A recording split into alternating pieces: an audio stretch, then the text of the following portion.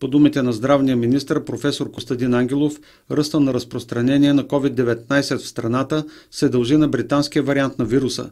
Близо 19 пъти е разликата между заболеваемостта в Кюстендил 487 на 100 хиляди и търговище, където показателя е 26.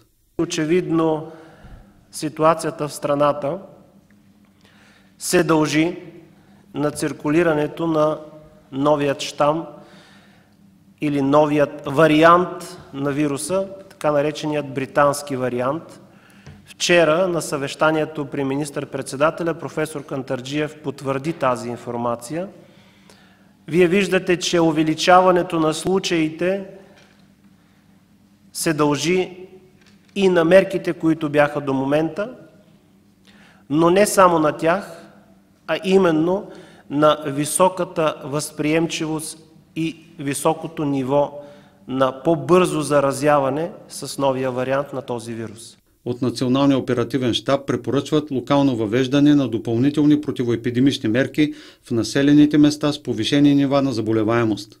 Днес Штабът в Бургас е взел решение да отмени плановия прием и плановата дейност на болниците в Бургас. Напълно оправдано решение, заставаме зад него. И аз бих искал да препоръчам и на другите щабове, специално в Кюстендил, Враца, Плевен, София град и Бургас, също да обмислят подобни действия.